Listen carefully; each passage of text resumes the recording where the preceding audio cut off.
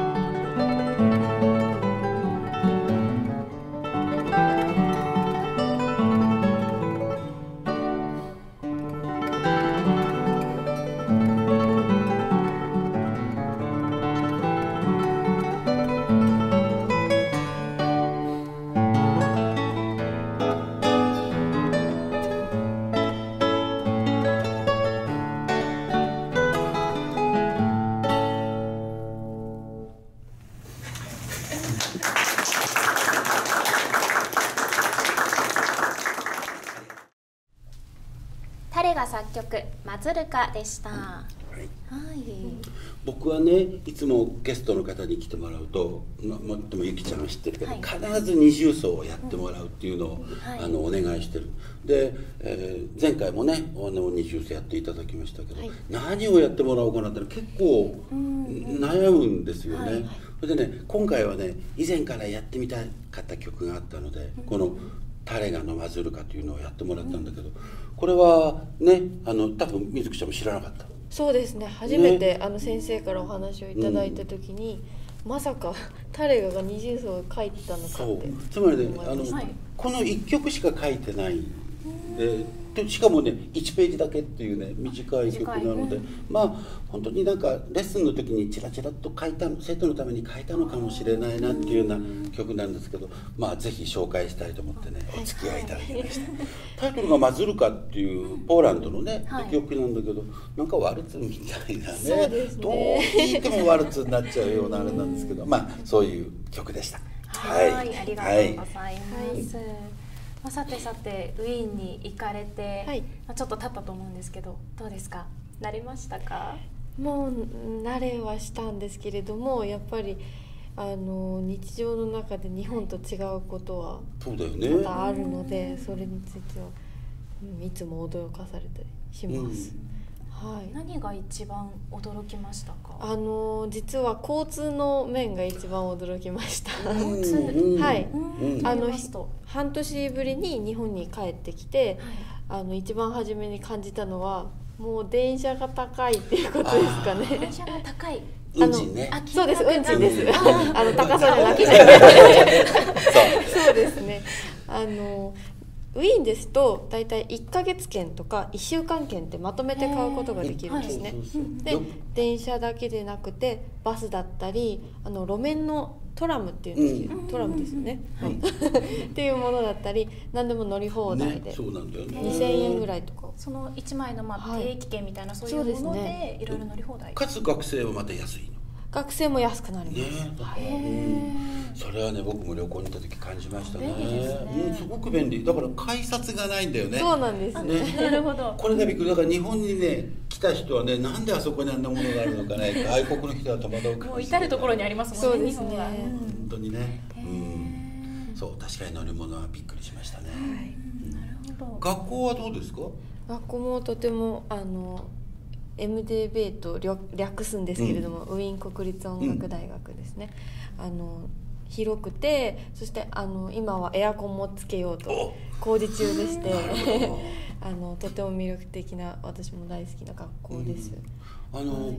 去年ね行った時に話題にしたと思うけど200年、はい。学校がね。200だから、ということは200年前の建物、絶対使ってるわけだよねうーんそうなんでしょうかね。だってね向こう壊さないもの。で新しいものもどんどん増えてる。だからあのギターのあそこの校舎は新しい校舎でしょ。そうですね。ね、だけど街の中に古い建物、ここは学校ですよなんていうのがあったりとかね、うんだから点在してる感じ。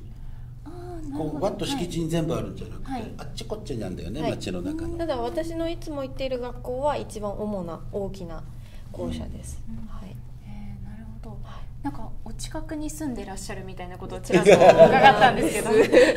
どこからの情報ですかそうなんここからですすもうごく近いそうで。あの玄関を開けます。うん。はいまっすぐ進みます。うん。学校みたいな感じですね。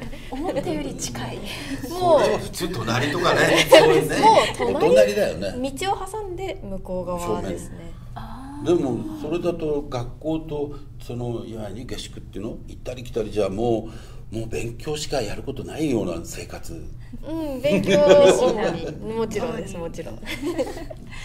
ただな私の家がとても古い建物なんですね。あやっぱりね。多分戦時か戦後のうん。たあの建物でしてで家の中もですねもうなんかお化け屋敷かなみたいな感じの。へすごーく古いあの西洋の西洋のお化け屋敷。そんな感じです。うわー行きたくな いいやいや。いやうん。なんかその家に住んでて不便とかってあります、まあ、日もちろん本と比べてありまです。すとか例えばあのオーストリアだけでなくヨーロッパはハイツングって言って暖房があるんですね。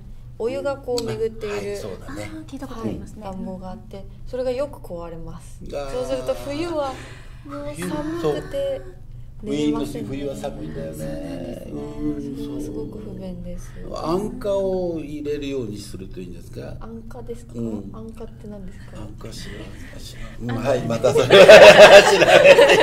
わかりました調べますはい、それじゃあねその向こうでのはい。あれでちょっと独奏をねはい。一曲ちょっと聴いていただきたいと思います。はい、ご紹介します浦安で行われましたミニコンサート「ウィーンはどこもウィーン」より。タレが作曲「夢」です。どうぞ「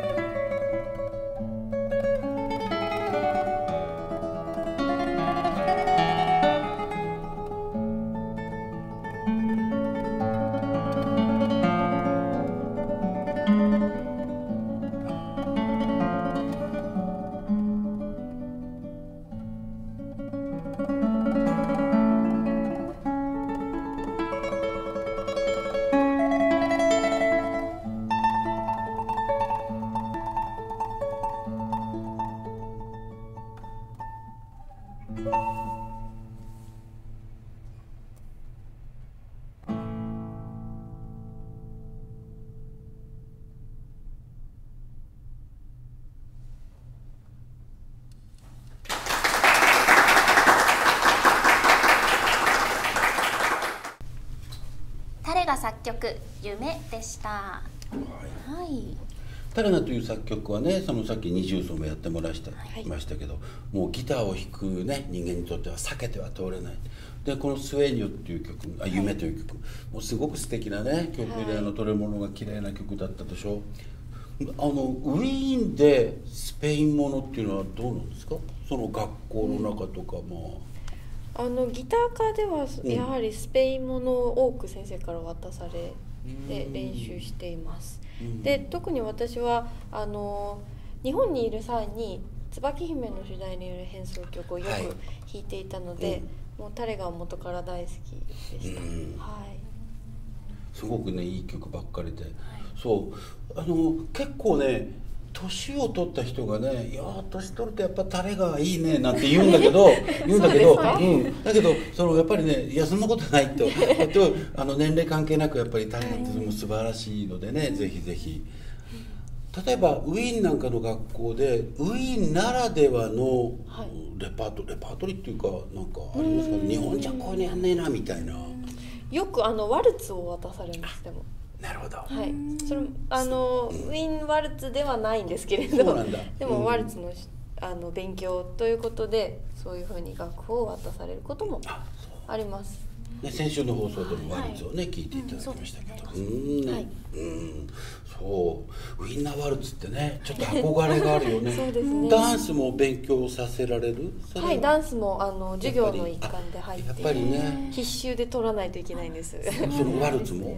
あ、ワルツというかもうダンスっていあうなるほど。授業を取らなきゃいけないですね。じゃあバロックダンスとかそうですね。はい。それはやっぱりいいよねこういうのはね学校に入らないと勉強できないんだよね。確かにそうですね。ちょっと意外でした。ギターの演奏だけじゃないんですね授業。ってはい、もちろんそうです。ダンス他に何かありますか？あの歴史の授業だったりとか、あとはもうねの超音っていうんですか？あ、耳のトレーニングだったり、もうあの日本の音楽大学と同じような内容なんですけれども、まあ、全てドイツ語で勉強しなきゃいけないねっていうことですね。ね。でもそうですね。確かに学校ですもんね。はい。いろんなことやりますよね。もちろんそうですよ。ね。なんかもうずっとギター漬けみたいなイメージがすごくあったので。そういうことも、うん、あの今私はまだ1年生というか初めの方なので、ギター以外にもピアノだったり歌を歌ったりとかもしなきゃいけないです。ね、うん。はい。まあでもねそういう総合的に音楽が勉強できるのでねやっぱり学校行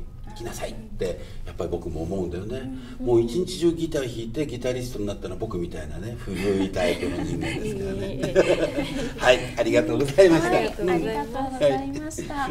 今週のゲストはギタリストの大沢瑞希さんでした。ありがとうございました。ありがとうございました。さて、今週もお別れの時間となりました。次回のギターはおしゃべりは来週日曜日に配信いたします。チャンネル登録をしていただきますと配信のお知らせが届きますので皆さんぜひチャンネル登録をお願いいたします。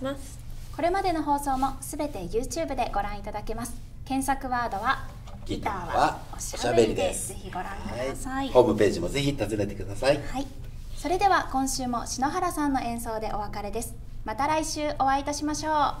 さよなら